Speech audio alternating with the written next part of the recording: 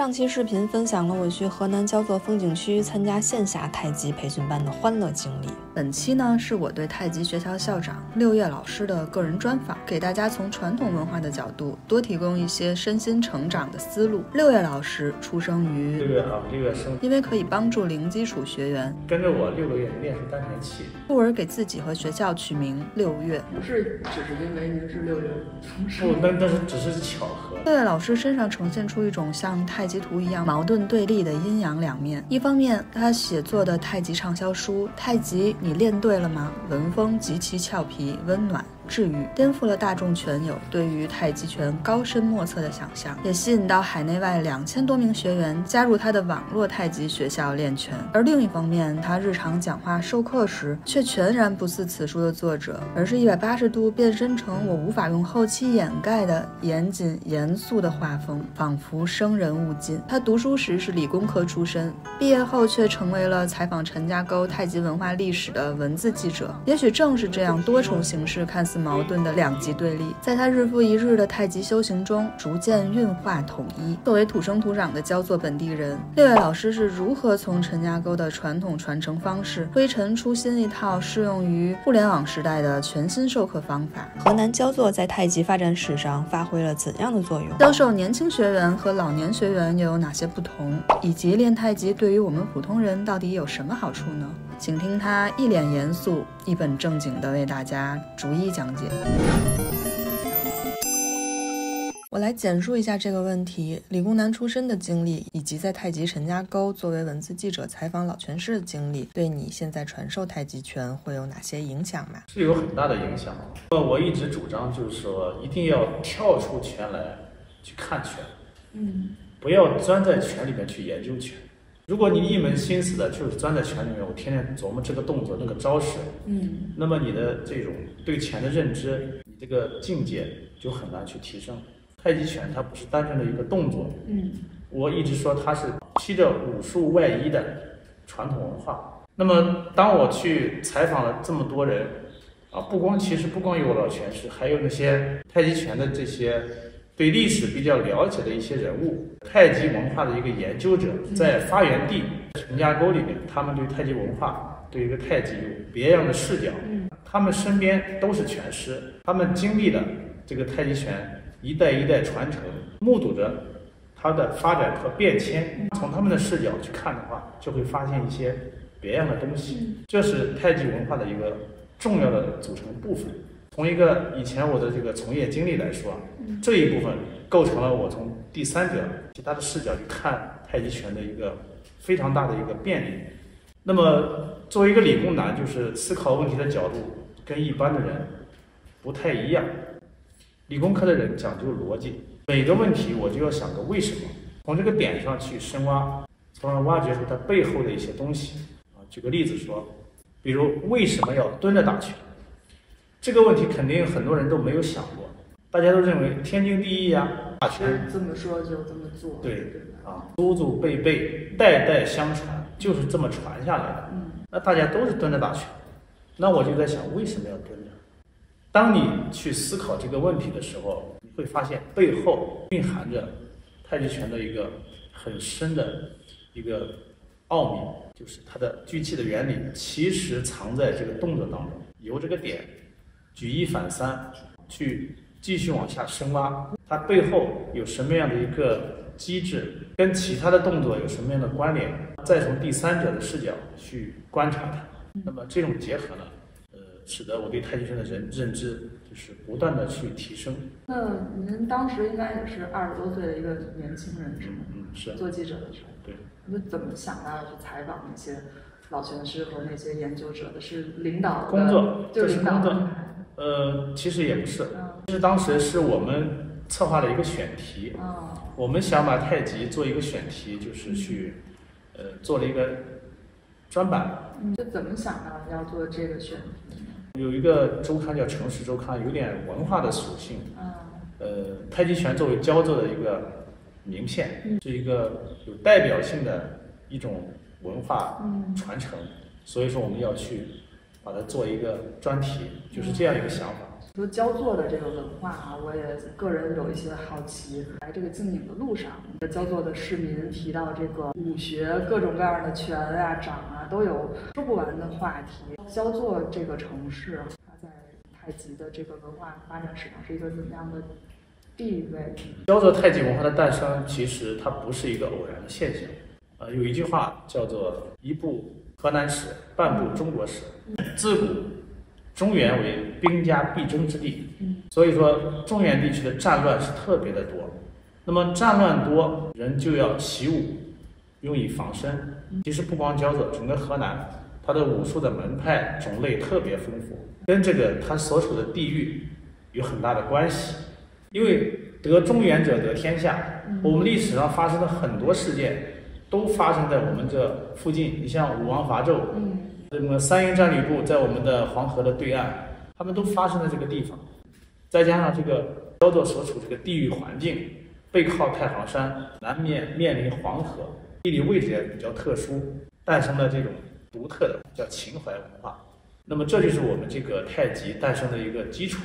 就是说太极这门武术的学问，这边诞生的吗？还是说在这边后来又发扬光大？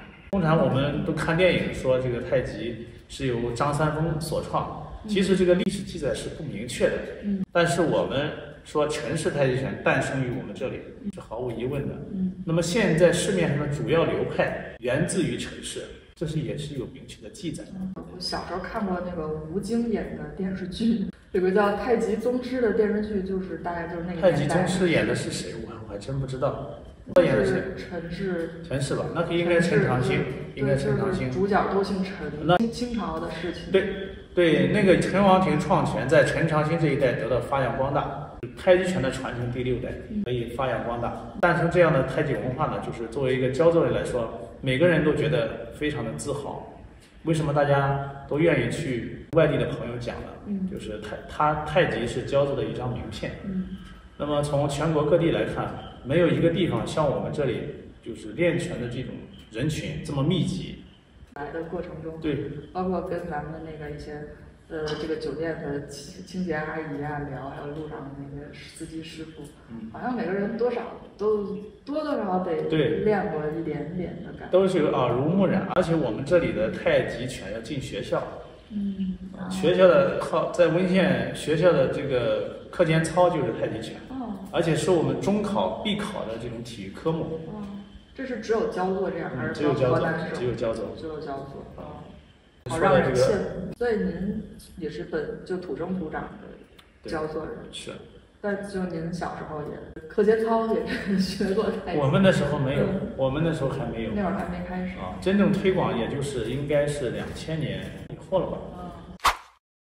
说这个互联网教学在在整体的太极的这个教学中是一个普遍现象吗？因为我比较孤陋寡闻哈，我第一次听我朋友就是介绍咱们这边是太极网络教学的时候，我其实特别的 特别的诧异，嗯，不不能说觉得不靠谱，但是乍一听是会觉得很荒谬的。但是我朋友就特别坚决的推荐我来体验这个网络教太极。所以我就当时也有一个另外一种感受，就是是不是我比较落伍了？就是说现在已经大家都在在在互联网上学太极，是只有咱们这边这样，还是说其实很多的门派老师都在在用互联网教学？嗯，其实互联网教学普及很普遍，很多这种观念意识比较超前的老师都在开展线上教学，都在进行尝试。它是这个我们的这种。通讯的基础设施发展之后的一个必然趋势。我们传统的教学，通常太极拳这些概念都比较玄，就是说的比较虚。我们把它基本上就是做到，让你听了就立刻能明白这个动作是什么样子啊。比如说，呃，举个很简单的例子啊，比如说开步。比如在线下教学，我们说你，我说你向左前方开步。那么线上教学呢，我们会说你向左前方四十五度开步，一些量化的。我们太极拳的专业术语叫捏架子，嗯，就是一还是咱们这种一对一的这样。对我们是这种双向的互动，不是单向的传播，嗯，不是我一个人在这里讲，或者扔一段视频给你，你自己看，而是你看完了，我们还有这种隔着网络这种手把手的视频就是直接对话来给你纠正动作，我们叫捏架子，比较好的一个重要原因。开展这种线上教学的成本特别的高，很多全师都不愿意采用这种方式，他们更愿意站在台上一个人讲，大家在听，听完了自己练就行了。网络的这个过程中，因为网络教学很多的专业的部分又被又被精细化了，或者是数数数据化了。对，不可能是以前的那种传承方式，反而还没有。